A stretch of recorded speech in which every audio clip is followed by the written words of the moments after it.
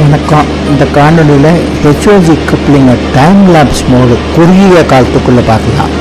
முதல்ல வந்து இந்த சென்ட்ரல் பஃபர் கப்ளிங் ரயில் இன்ஜினை வந்து ரயில் பெட்டிகளுடன் இணைப்பது முறை முடிவடைந்து விட்டது. இப்பொழுது பண்டோகிராஃப் கீழே வந்து விட்டது. ஹெச்ஓஜி கப்ளிங் தொடங்கியாகிவிட்டது ஹெச்ஓஜி கப்ளிங்னா என்ன?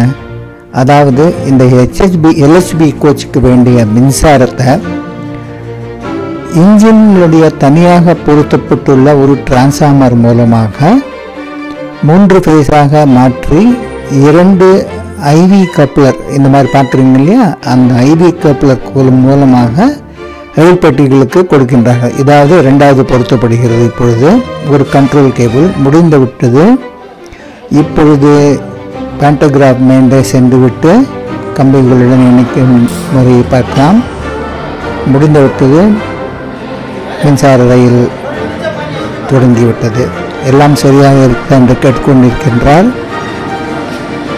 நமது வண்டி இப்பொழுது தயாராக இருக்கின்றது சென்னை சென்ட்ரல் நன்றி வணக்கம் மீண்டும் சந்திப்போம்